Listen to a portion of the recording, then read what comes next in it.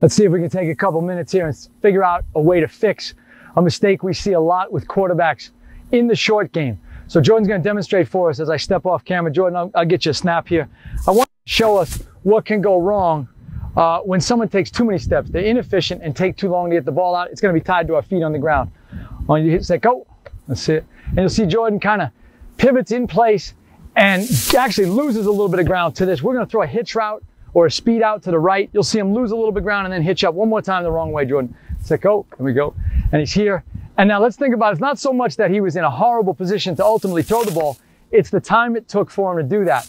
So what to encourage Jordan to do is we'll get you back over uh, the midline there. And that's why we're doing it. Quarterback's great way for you to train is to allow this white line to split you right down the middle. So we'll pull you a little bit to the right there, Jordan. And Jordan's going to work a technique that's going to get him to five o'clock. So the very first time, Jordan, I'll have you walk through it, self snap, set go. He'll get to five o'clock and close himself off.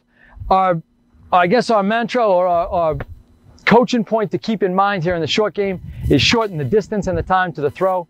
So when we're going to our strong side, we're going to get him to five o'clock on you, Jordan. Set, go.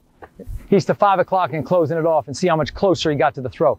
Jordan, let's flip it up and do it to the weak side. Now, if we're going to throw the ball that way, you're obviously a right-handed quarterback, so we're going to need some crossover, but we still want to be able to get enough depth to be able to deal with the defensive end who may be hard charging, okay?